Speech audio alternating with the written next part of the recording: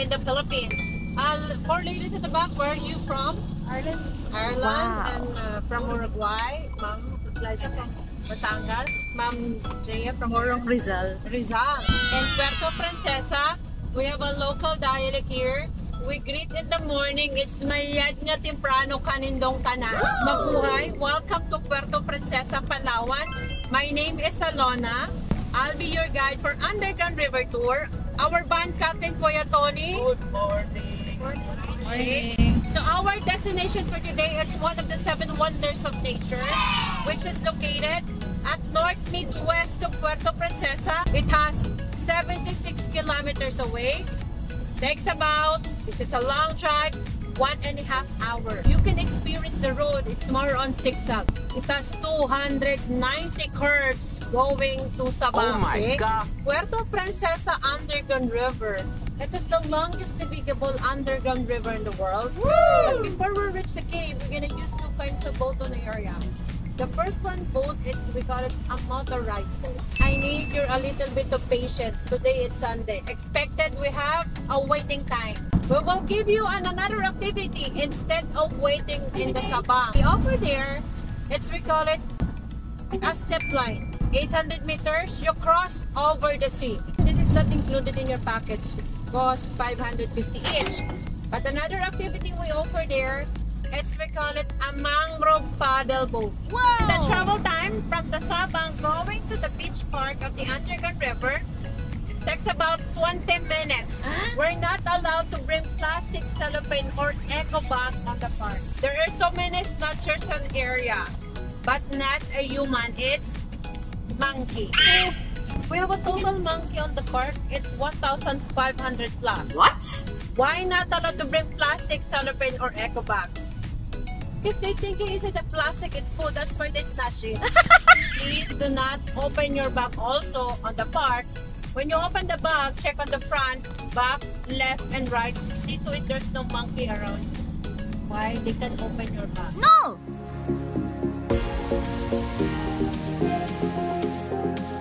10 minutes stop over here.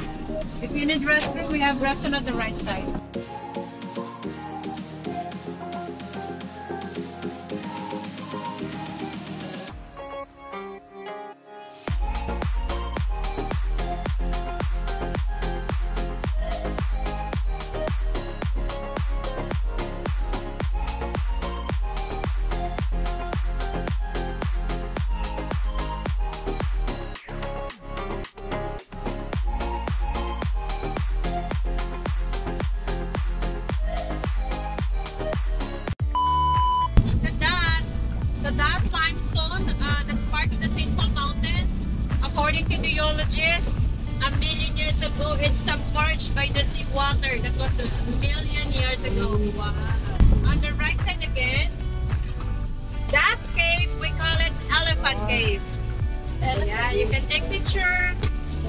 So look at the line of the limestone. That's a water level a million years ago. That line, we call it tidal knot. And the limestone, it's a combination of microscopic seashells and algae. Right side, look at that. That's part also on the top of the St. Paul Mountain. And that's we the Cleopatra City. It looks like a cone. That's part of the forest. We call it the tropical rainforest. Habang nag-aantay kami ay na-try namin tong paddle boat na to. So ito ay 350 pesos per hour. Let's go! At dahil nga sabi ng aming tour guide ay kapag doon i-try natin tong activity na to ay mababawasan yung negative vibes sa katawan natin. So try natin to pasakay na kami ng bangka and yeah, let's explore! Let's go! Ayan guys, sobrang payapa dito. Ang maririnig mo lang ay mga huni ng ibon. So, ang ganda din ng lugar kasi parang kakaiba, di ba? Sobrang nakaka-relax pala talaga dito.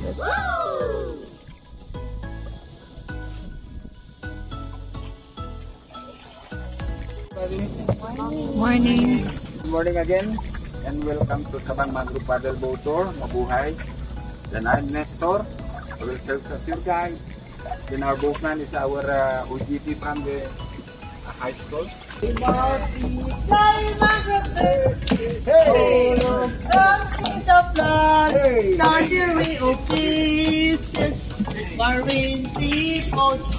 Best. Tropical scad. Yes. That is the common snake here. We call it mangrove snake in English. Actually, before Lulong, Agusan was captured as a wheat flower. So that is another species. We call it uh, busain. That is the tabigi.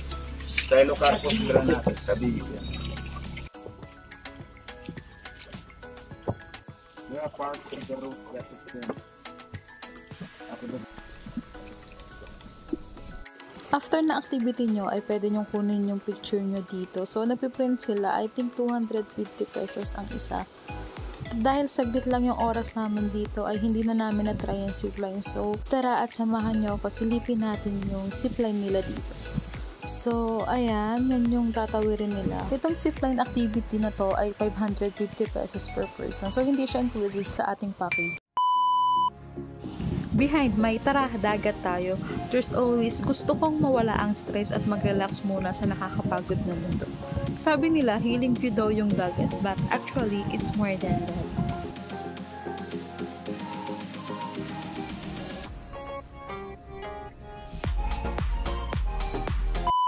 Sa mga nagtatanong, dito kami nag-book sa Island Travel and Tours. I hope you enjoy your mangrove paddleboat tour and your zipline experience. Ayan guys, so ang binayaran pala namin dito sa Underground River plus buffet lunch is 1,875 pesos dahil naka-promo siya. Pero kung hindi siya naka-promo at regular rate lang ang inyong madadatnan, ay 2,500 siya. So ayan, samahan nyo kami at papunta na tayo sa Sabang Restaurant. Let's go! For the eat na tayo!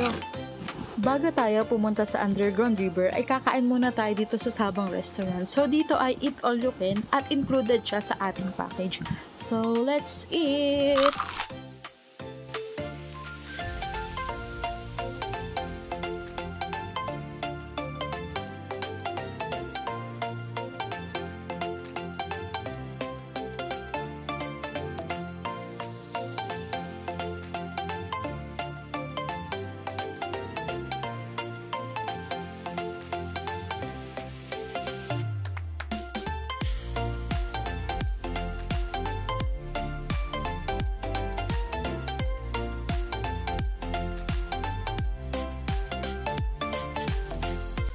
Hanggang dito sa pagsakay sa motorized boat ay may pila kaya guys, kailangan talaga natin ng mahabang pasensya.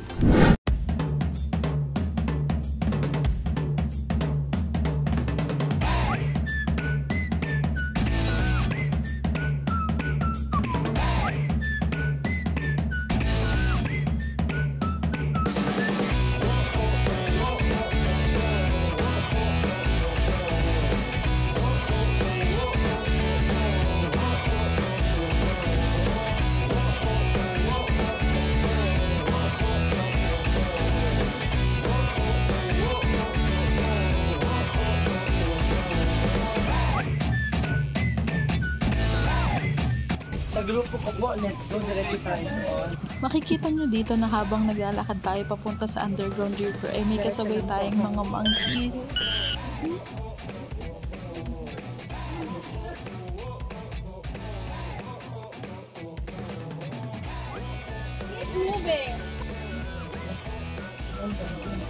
Moving. Sobrang daming tao.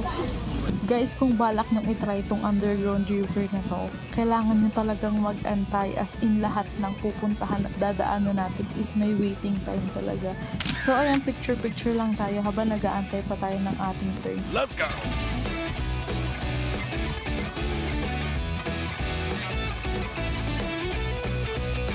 A few moments later.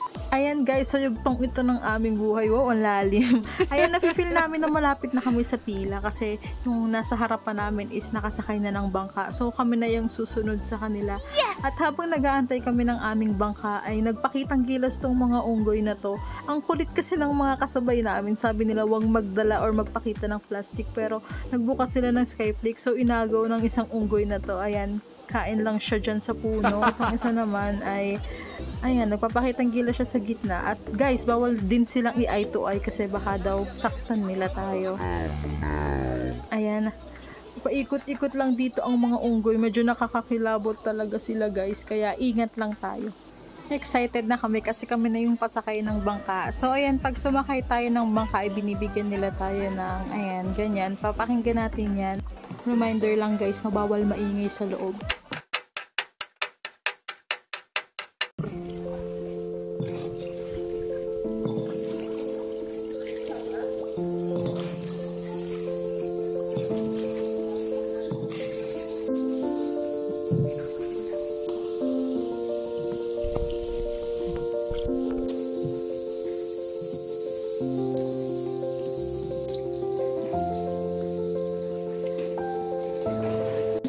Galing sa itaas. Kapag naramdaman niyo pong malamig, yan po ay holy water. At kapag mainit, holy shit. Ihin ihin ng panikit. Sa itaas naman po natin, ito po ang Cloud9 formation. Para pong ulat. Please prepare your camera because front of you looks like a T-Rex or dinosaur head formation. Sundan niyo lang po ang shadow ng aking kamay para po makita ninyo. Ito po yung ulo ng dinosaur. Yan. At sa likod po, meron din pong T-Rex.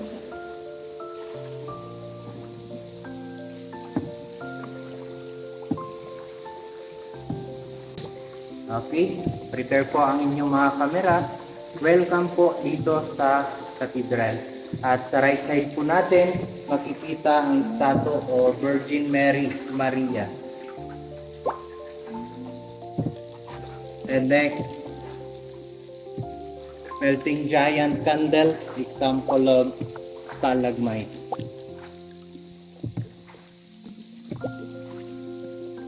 And angel formation. Ayan, ito naman po para pong layon na nakadapa na nakanganga. Lalikod lang layon. Wala yun. Ito naman po ang Pegasus head and wing. The flying horse. And next, the Holy Family or Nativity Sing Belen.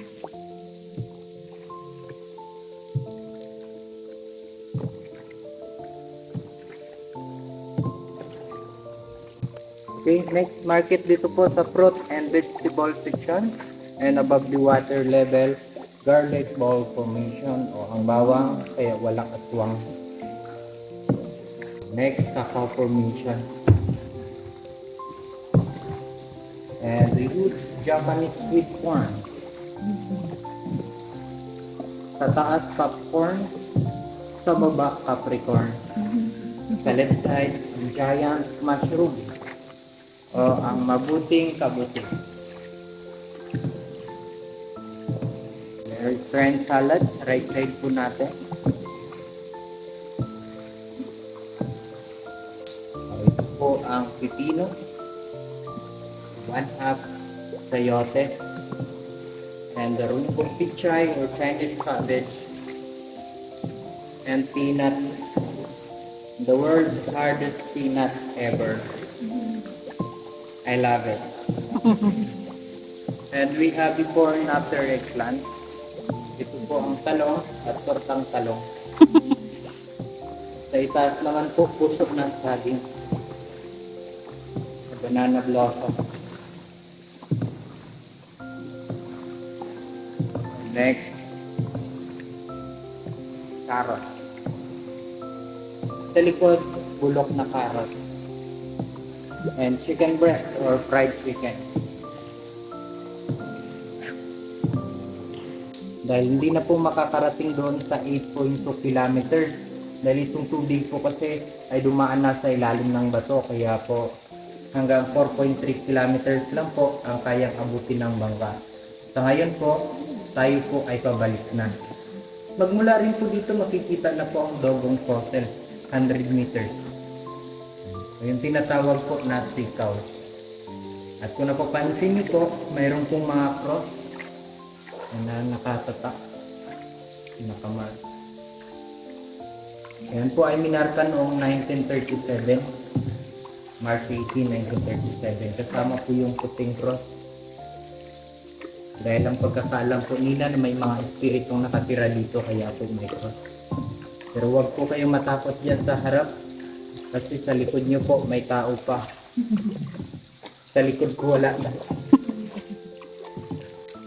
Alam niyo po ba yung Eiffel Tower sa Paris? Oo. O dito po, full of water. Kasi when you look up, your eye full of water. At yung bat dropping po, ito po. Yung bat dropping. Yung organic fertilizer. Pero ang pagkolekta po ng guano dito ay napakabawal po. Dahil yan po ay pinoprotektahan. Buti pa yung tayo ng paniki, protektado ng gobyerno. Sundan niyo lang po yung shadow ng aking kamay. Ito po yung kanyang mata, ang ilong, bibig, balbas, at mahabang buhok. Ayan po. Pwede niyo pong zoom yung mga camera or cellphone.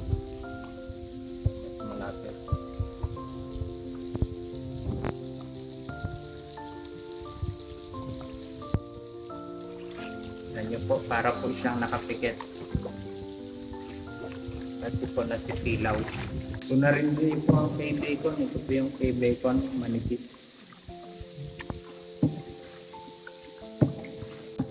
Okay, at sa itaas po natin, ito po ang Last Supper. The group of people riding, uh, dining together. Napapansin niyo po yung tatlong nakatayo, yan yung waitress nila. and the top of giant candle, ang castle formation and three kings. Sa likod ng giant candle, ang Virgin Mary. Umina ang panitip na tumigas na galas mineral. Eh, Yung mga panitip po sa itaas natin, Kung alam niyo po ba yung mga kinakapitan nila, yan po ay kanilang mga dumi din. Ayan po yung mga kulay itim na parang guhit. Dahil yung ibang dumi nila, dinidikit nila yan sa bato. At kapag tumigas po, doon na po yan sila kumakapit. Okay, everybody wake up because the night is over. Good morning. Salamat po sa pagbisita dito sa Puerto Princesa Underground River, Palawan and New Seven Wonders of Nature. And I hope you enjoy this our tour. Are you enjoy, Ma'am Sir? Yes. Buti pa kayo. And don't forget your boatman, ha? And ako nga po pala si Noli Saknoy. Ang nakasama niyo po ng 45 minutes dito sa loob ng cave. The next day.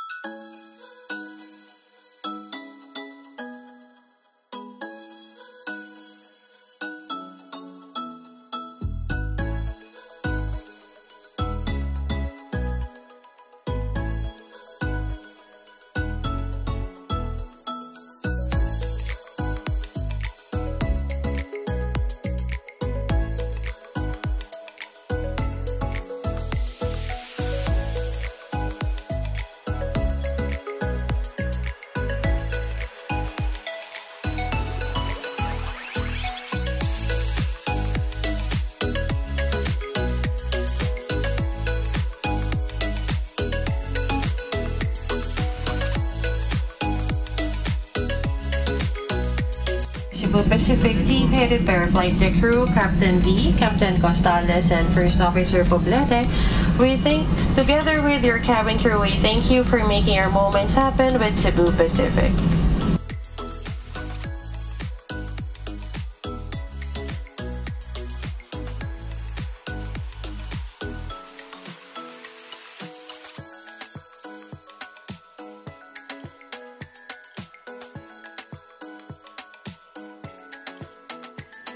Hanggang sa muli!